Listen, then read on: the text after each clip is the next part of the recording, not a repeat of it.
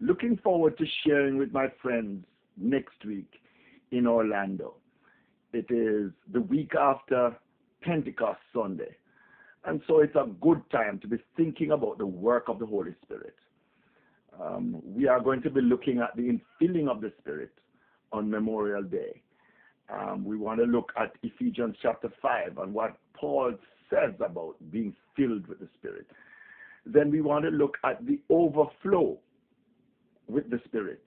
Many people are living in a subsistence role, and God's plan is that we live in the overflow. And we also want to end that whole series by looking at the outflow. For that which is uh, filling us up and overflowing in us is not just for us, it is so that we might be effective in God's grace reaching others. Looking forward to being with those of my friends in Orlando over next.